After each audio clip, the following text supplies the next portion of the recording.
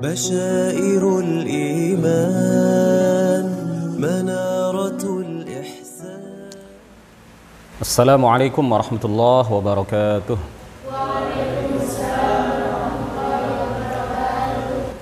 الحمد لله رب العالمين له النعمة وله الفضل وله الثناء الحسن. صلوات الله البر الرحيم والملائكة المقربين على سيدنا محمد طه الأمين. وعلى آله وصحبه الطيبين الطاهرين. رب اشرح لي صدري ويسر لي أمري وثبتني على الإيمان. اللهم لا سهل إلا ما جعلته سهلا. وأنت يا حي يا قيوم تجعل الحزن إذا شئت سهلا. Para pemirsa, para jamaah, para peserta kajian kitab Matan. Jauharatul Tauhid baik yang online maupun yang offline yang ada di hadapan saya yang mudah-mudahan semuanya senantiasa mendapatkan limpahan taufik, rahmah serta hidayah dari Allah Subhanahu wa taala. Qala al-muallif rahimahullahu taala wa nafa'ana bihi wa bi'ulumihi wa amaddana bi amdadihi wa afadha alaina min barakatihi amin. Alhamdulillahi ala silatihi thumma salamullahi ma' salatihi ala nabiyyin ja'a bit tauhidi wa qad khalat dinu 'anit tauhidi. Alhamdulillahi alhamdu. Saya kemarin izin ke NO online untuk mengartikan kitab ini dalam bahasa Jawa. Katanya jangan Ustadz. Nanti banyak yang dari luar Jawa yang protes. Jadi kita maknai bahasa Indonesia, bahasa persatuan, bahasa yang insya Allah bisa kita pahami bersama. Alhamdu, segala puji, lillahi, bagi Allah subhanahu wa ta'ala, ala silatihi, atas segala anugerah nikmatnya. Thumma salamullahi, disertai salam Allah ma'a salatihi dan solawatnya ala nabiyyin. Semoga tercurah kepada nabi. Ja'abit tauhidi Nabi Muhammad maksudnya. Ja'abit tauhidi yang datang dengan tauhid yang datang dengan membawa aqidatit tauhid. Wa qad khalad dinu anit tauhidi ay anit tafarrudi. Wa qad khalad dinu dan agama telah kosong pada waktu itu pada saat beliau membawa agama Islam Nabi Muhammad saat membawa aqidah tauhid saat itu waqad khalad dinu dan agama telah kosong agama yang dianut oleh masyarakat jahiliyah ketika itu telah kosong anit tauhidi dari tauhid. Atau bisa juga diartikan at-tauhid di sini maksudnya adalah at-tafarrud ya. At-tauhid yang kedua, tauhid yang pertama sudah tadi kita baca pada bait nazam bagian pertama dari bait nazam yang kedua.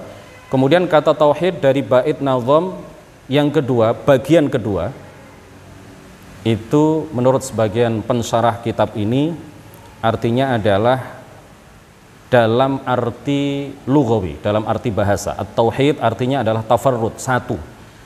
Artinya waqad khalad dinu dan agama telah kosong. Anit tauhidi dari satu. Agama telah kosong dari satu. Ya nanti akan kita arti akan kita jelaskan yang dimaksud itu apa. Syarah penjelasan. Pengarang kitab ini Syekh Ibrahim Al-Laqani rahimahullahu taala wa radhiya anhu mengatakan alhamdulillahi ala silatihi Alhamdulillah. Alhamdu Lillah Alhamdu artinya adalah Athana'u bil lisan. Pujian kepada Allah secara lisan. Athana'u bil lisani. Alhamdulillah artinya adalah apa? Pujian kepada Allah secara lisan. Pujian secara lisan kepada Allah Subhanahu wa taala yang Maha memberi nikmat yang berhak diagungkan dengan puncak pengagungan atas segala nikmat yang ia anugerahkan kepada kita dan tidak wajib bagi Allah menganugerahkan nikmat kepada kita. Jadi Allah memberikan nikmat kepada kita itu fadlan minhu wa karoma. Semata-mata adalah anugerah dan karunia yang ia berikan kepada kita. Allah tidak wajib memberikan nikmat kepada orang-orang yang taat kepada beliau. Allah tidak wajib memberikan nikmat kepada orang-orang yang rajin beribadah. Kalau orang ini, orang itu, si fulan ini, si fulan itu selama hidup di dunia mereka mendapatkan nikmat dari Allah, maka itu adalah semata-mata anugerah dan karunia darinya. Allah tidak wajib sama sekali memberikan nikmat kepada siapa pun. Makanya di dunia pada pertemuan yang perdana pada minggu yang lalu kami sampaikan bahwa di dunia nikmat dan rahmat Allah itu berlaku umum. Siapa pun diberi nikmat, siapa pun diberi rahmat oleh Allah Subhanahu wa taala. Kafir, muslim, mukmin, fasik, orang fasik, orang yang taat, orang yang selalu ibadah, orang yang tidak pernah beribadah, semuanya diberi rahmat dan nikmat dari Allah Subhanahu wa taala tanpa memandang agamanya apa tanpa pandang bulu. Siapa pun dapat selama hidup di di dunia.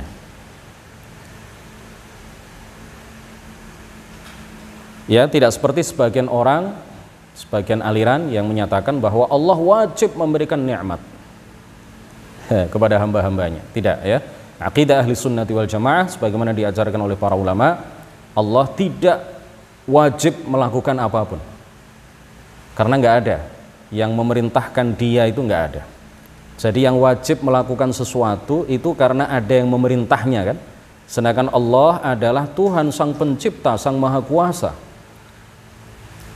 La lahu wala nahi. Tidak ada yang memerintah Allah dan tidak ada yang melarang Allah. Tidak ada yang memerintah Allah untuk melakukan sesuatu, untuk berbuat sesuatu dan tidak ada yang melarang Allah untuk tidak melakukan sesuatu. Ya. Makanya kemudian para ulama mengatakan Alhamdulillah itu artinya adalah kita memuji Allah secara lisan atas berbagai nikmat yang Allah anugerahkan kepada kita min ghairi wujubin alaihi ya tanpa dikatakan bahwa Allah wajib wajib memberikan nikmat kepada kita sebagai hamba-hambanya Nah, memuji Allah itu artinya adalah bersyukur kepadanya. Memuji Allah itu artinya apa? Bersyukur kepadanya. Bersyukur atau syukur itu ada dua, sebagaimana yang sudah sama-sama kita ketahui. Syukur ada dua, ada syukur wajib dan ada syukur sunnah. Ada syukur wajib dan ada syukur sunnah. Syukur wajib artinya apa? tidak menggunakan nikmat yang Allah berikan kepada kita dalam berbuat dosa dan maksiat kepadanya. Diberi nikmat mata tidak digunakan untuk melihat hal-hal yang diharamkan olehnya. Diberi nikmat harta tidak digunakan untuk melakukan maksiat kepada Allah. Diberi nikmat kaki tidak digunakan untuk melangkah ke tempat-tempat yang diharamkan oleh syariat. Diberi nikmat kesehatan tidak digunakan untuk berbuat dosa kepadanya ketika seseorang sudah mampu untuk menggunakan nikmat dalam berbuat taat kepada Allah dan tidak menggunakan nikmat itu dalam berbuat dosa dan maksiat kepada Allah Subhanahu wa taala maka orang yang seperti ini sudah dikatakan sebagai orang yang telah melakukan syukur wajib kepada Allah Subhanahu wa taala. Yang kedua adalah syukur sunnah. Syukur sunnah itu ketika kita mendapatkan nikmat kemudian kita membaca Alhamdulillah Alhamdulillahi Rabbil Alamin ya dapat nikmat kajian itu kan nikmat ya nikmat harta Alhamdulillah sampai detik ini kita masih diberi nikmat iman kita mengatakan Alhamdulillah sampai detik ini kita masih diberi nikmat berupa cinta kepada Allah. Cinta Allah itu nikmat. Nikmat yang luar biasa. Iman itu adalah nikmat yang paling luar biasa, paling istimewa yang Allah anugerahkan kepada kita. Kita diberi nikmat bisa bertawakal kepada Allah. Kita diberi nikmat cinta kepada Rasul. Kita diberi nikmat rindu ingin berjumpa dengan Rasul itu nikmat itu. Rindu ingin berjumpa dengan Rasul itu adalah nikmat. Ketika kita mendapatkan nikmat, kemudian kita membaca alhamdulillah, ini adalah sesuatu yang disunnahkan. Ini yang ini yang disebut dengan syukrul mandud ya. Syukur sun sunnah. Dari apa yang kami jelaskan tadi bahwa nikmat itu ada dua. Ada nikmat yang zahirah, ni'matul zahirah dan ada an-ni'matul batinah. Ada nikmat yang lahir, nikmat yang tampak dan ada nikmat yang batin, nikmat yang tidak tidak tampak. Nikmat lahir itu seperti apa? Kesehatan, harta, ya, mata yang kelihatan oleh orang, yang bisa dilihat oleh semua orang, bisa bangun rumah, e, memiliki wajah yang cantik, memiliki wajah yang ganteng, memiliki hidung yang indah, memiliki bibir yang sensual, ya, tapi tidak diperlihatkan, tidak di e, e, sensual-sensualkan, kecuali kepada suaminya, kecuali kepada pasangan sahnya. Itu semuanya adalah nikmat-nikmat yang zahir, nikmat-nikmat yang tampak. Nah, ada lagi nikmat yang tidak tampak dan nikmat yang paling agung yang Allah anugerahkan kepada kita adalah nikmatul imani wal Islam. Nikmat iman dan nikmat Islam. Ini adalah nikmat yang paling agung yang Allah anugerahkan kepada kita. Man u'tiyal imana walam yu'tad dunya faka'annama ma muni'a syai'a kata para ulama Barang siapa yang diberi nikmat iman dan tidak diberi nikmat harta maka seakan-akan dia tidak terhalang dari apa pun karena nikmat iman itu sudah melebihi nikmat apa pun sebaliknya waman u'tiya dunya atau waman u'tiyal mala walam yu'tal imana faka'annama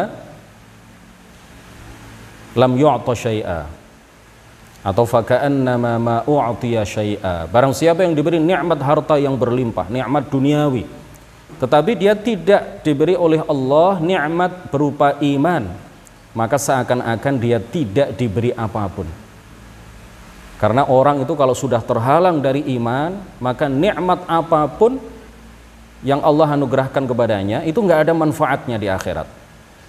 Padahal akhirat itu adalah kehidupan yang abadi. Di akhirat itu adalah kehidupan yang selamanya.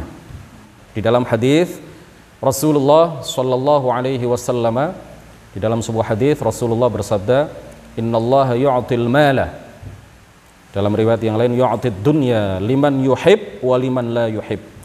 Wa la yu'til imana illa liman yuhib. Sesungguhnya Allah memberikan nikmat uh, sesungguhnya Allah memberikan nikmat harta. Itu kepada orang yang ia cintai dan kepada orang yang tidak ia cintai. Dan Allah tidak akan memberikan nikmat iman kecuali kepada orang yang dia dia cintai Allah tidak akan memberikan nikmat iman kecuali kepada orang yang dia dia cintai jadi kalau kita diberi nikmat iman dan ini adalah nikmat yang teragung yang Allah anugerahkan kepada kita, itu tanda bahwa kita dicintai oleh Allah Subhanahu wa taala. Senggantung apa pun seseorang, secantik apa pun, sekaya apa pun, setinggi apa pun jabatannya, sepopuler apa pun di dunia, kalau dia tidak diberi nikmat iman oleh Allah Subhanahu wa taala, itu artinya dia tidak dicintai oleh Allah Subhanahu wa taala. Paham ya? Nikmat yang tidak tampak itu adalah yang paling agung adalah apa? Nikmat iman dan nikmat Islam. Kemudian juga nikmat-nikmat lain yang mengikuti nikmat iman kepada Allah. Seperti apa? Seseorang ketika diberi nikmat bisa berserah diri kepada Allah sepenuhnya, bisa tawakal, haqqat tawakul, ya, bisa melakukan sebenar-benar tawakal kepada Allah dalam keadaan apa pun itu adalah nikmat yang luar biasa. Nikmat sabar, nikmat tawakal, nikmat bersyukur ya. Itu adalah nikmat-nikmat yang agung yang Allah anugerahkan kepada para hambanya. Cinta kepada Allah, cinta kepada Rasul, cinta kepada seorang wali, cinta orang-orang soleh, ya, punya motivasi belajar ilmu agama itu semuanya adalah nikmat yang Allah anugerahkan kepada seseorang yang itu adalah nikmat yang batinah, an-ni'matul batinah. An-ni'amul batinah, nikmat-nikmat batin yang tidak tampak. Nah, tapi nikmat motivasi belajar ilmu agama itu kan uh, pada prinsipnya dalam dalam hati, tidak tampak. Tapi kemudian bisa dilihat indikasinya ketika ada seseorang yang hadir di majelis taklim paling rajin ya, hadir di majelis taklim paling awal, tidak pernah absen di majelis ilmu. Nah, itu adalah indikator petunjuk tanda-tanda bahwa orang tersebut punya motivasi yang tinggi di dalam belajar ilmu agama dan itu adalah nikmat. Kalau kalian punya semangat dan motivasi belajar ilmu agama, itu adalah nikmat. Ucapkan alhamdulillah alhamdulillahi alamin ya. Banyak orang-orang di sana pada saat ini ketika kita mengkaji kitab ini, ketika kita belajar ilmu agama, banyak orang-orang di luar sana yang menghabiskan waktu untuk main gitar, ya, yang uh, bercengkrama dengan teman-temannya di kafe-kafe, nongkrong di perempat jal, perempatan jalan, di perapatan, di pertigaan, ya ngobrol hal-hal yang tidak ada manfaatnya. Di luar sana banyak orang-orang yang seperti itu. Tapi kita alhamdulillah di waktu ini di waktu yang sama kita diberi nikmat oleh Allah Subhanahu wa taala bisa melangkahkan kaki hadir di majelis ilmu ini. Yang online bisa digerakkan hatinya oleh Allah Subhanahu wa taala membuka uh, fanpage NO online kemudian mengikuti kajian yang insya Allah penuh faidah ini. Ini semuanya adalah nikmat yang Allah anugerahkan kepada kita. Allah Ta'ala berfirman, Wa asbagha alaikum ni'amahu zahiratan wa batinah. Surat Surah Luqman ayat 20. Dan dia menyempurnakan nikmatnya lahir dan batin. Alhamdulillah.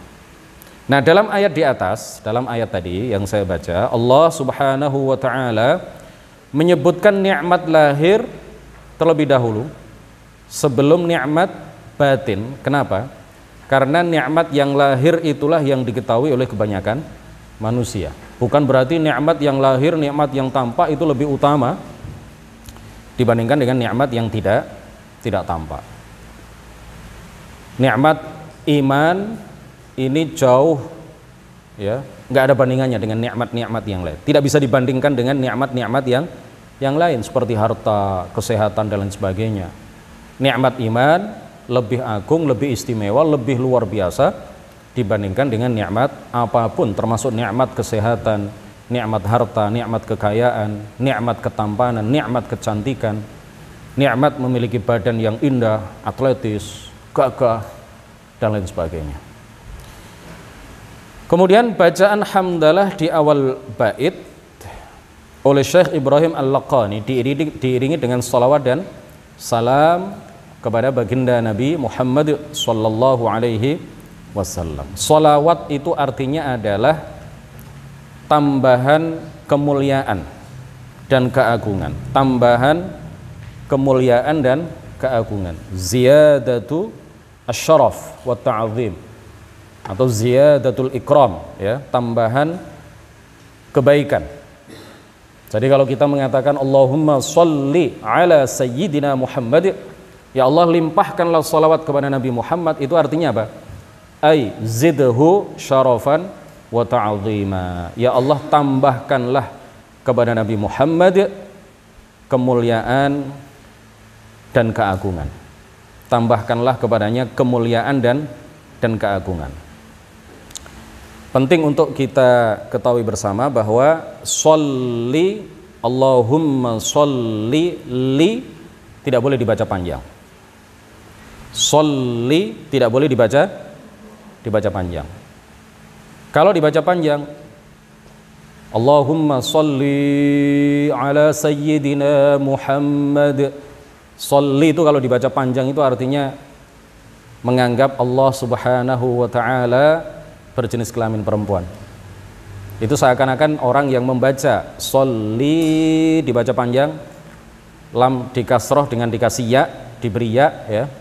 Baik dalam tulisan maupun dalam ucapan. Mungkin tulisannya sudah benar tapi bacanya yang salah. Ya kalau tulisan yang benar adalah apa? Allahumma sholli nggak ada yaknya beda dengan sallallahu ala sholla pakai fi'il madhi itu ada ada alifnya atau ada eh, apa? Semacam yaknya itu ya? Ya. Tapi kalau soli nggak ada yaknya lihat di kitab-kitab nggak ada yaknya oleh karena itu jangan dibaca panjang.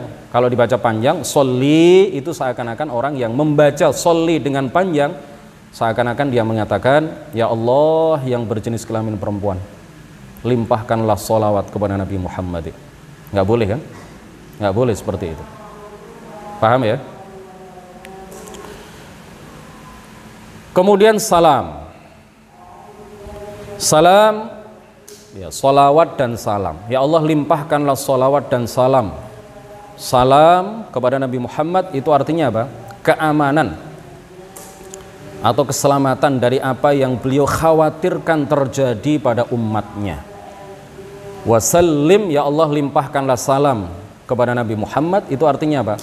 Ya Allah berilah beliau Ya Allah anugerahkan kepada beliau keamanan, rasa aman dari apa yang beliau khawatirkan terjadi pada umat umatnya. Karena Rasulullah itu orang yang sangat mencintai umatnya. Sangat mencintai umatnya. Rasulullah adalah orang yang sangat cinta kepada kita semuanya. Rasulullah bahkan berdoa kepada Allah, "Sa'altu Rabbi an la yukfira ummati jumlatan." fa'ataniha. Aku mohon kepada Allah. Salah satunya beliau mohon beberapa hal kepada Allah terkait dengan umatnya. Salah satunya apa? Aku mohon kepada Allah aku minta aku berdoa kepada Allah agar Allah tidak menjadikan seluruh umatku kafir secara keseluruhan. Dan doaku itu dikabulkan permintaanku itu dikabulkan diijabah oleh Allah subhanahu wa ta'ala. Jadi beliau sangat mengkhawatirkan kita. Beliau sangat cinta kepada kita. Ya. Dan beliau nanti kelak ya kelak di akhirat akan memberikan syafaat kepada kita. Amin ya rabbal alamin. Inna Allah wa malaikatahu yusalluna 'alan nabi Sesungguhnya Allah Subhanahu wa taala bersolawat kepada baginda Nabi. Apa artinya solawat Allah kepada baginda Nabi? Apa arti dari solawat Allah kepada baginda baginda Nabi? Apa artinya? Jangan diartikan Allah membaca solawat seperti kita membaca solawat. Jangan sampai ada yang beranggapan ketika membaca ayat ini atau mendengar ayat ini kemudian dia beranggapan Allah subhanahu wa ta'ala membaca solawat kepada Nabi seperti kita membaca solawat kepada Nabi. Karena kalam Allah bukan berupa suara, bukan berupa bahasa, ya, bukan berupa huruf, tidak sama dengan kita, tidak sama dengan ucapan kita, tidak sama dengan perkataan kita. Jadi solawat Allah kepada Nabi itu artinya adalah rahmat Allah yang disertai dengan keagungan. Ar-rahmatul maqrunatu bitta'zim. Makanya di pesantren itu kalau di, kalau kalau mengartikan sholla apa? Mugi paring rahmat ta'zim sapa Allah gitu kan? Rahmat apa? Ta'zim, rahmat yang disertai dengan pengagungan rahmat yang disertai dengan ketinggian derajat ya rahmat yang disertai dengan kemuliaan jadi Allah bersolawat kepada Nabi artinya adalah Allah memberikan rahmatnya yang disertai dengan keagungan dan kemuliaan kepada Nabi Muhammad Sallallahu Alaihi Wasallam. Malaikat bersolawat kepada Nabi artinya adalah ya menurut sebagian ulama sama dengan solawatnya kita berdoa kepada Allah agar Allah melimpahkan solawat ya solawat rahmatnya disertai dengan ta'zimnya kepada Nabi Muhammad. Sebagian ulama mengatakan solawat malaikat kepada Nabi itu artinya adalah istighfar. Apa istighfar para para malaikat memohonkan ampunan kepada Allah yang ditujukan kepada baginda Nabi Muhammad sallallahu alaihi wasallam. Dan salawat dari umat kepada Nabi, salawat kepada dari kita kepada Nabi artinya apa? Doa. Ya. Kita berdoa kepada Allah agar Allah melimpahkan salawat, melimpahkan rahmatnya yang disertai dengan kemuliaan dan keagungannya, keagungan darinya kepada baginda Nabi Muhammad sallallahu alaihi wasallam. Sebenarnya saya sudah uh, menulis di, di deskripsi itu ya, panjang sampai selesai penjelasan dua bait ini. Tapi kita akhiri sampai di sini. Insya Allah kita lanjutkan masih masih dalam penjelasan terkait dengan dua bait pertama dari kitab Matan Jauharutit Tauhid. Insya Allah kita lanjutkan pada hari Selasa depan. Mudah-mudahan menjadi ilmu yang bermanfaat Mudah-mudahan barokah, mudah-mudahan kita senantiasa mendapatkan ridho dan pahala yang berlipat ganda dari Allah Subhanahu wa taala setiap kali kita mengikuti kajian kitab ini ya. Wallahul muwaffiq إلى أقوم الطريق والسلام عليكم ورحمة الله وبركاته.